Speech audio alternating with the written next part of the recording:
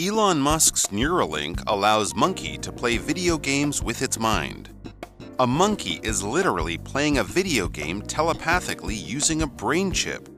Elon Musk wrote on Twitter in April, sharing a link to a video showing just that.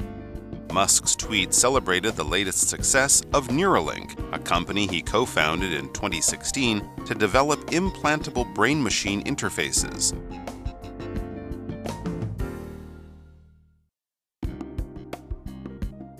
The monkey, named Pager, had two of these implants placed in the areas of the brain that control the movement of the hands and arms.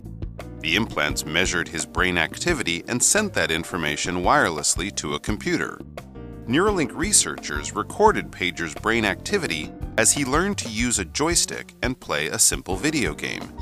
That data allowed researchers' software to recognize when and how Pager planned to move his hand. Once the software was able to accurately predict Pager's movements, researchers unplugged the joystick. Pager then played using only his mind.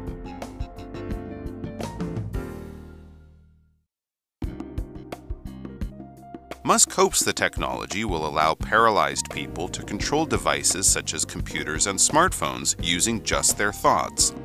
If all goes well, he plans to start human trials by the end of the year.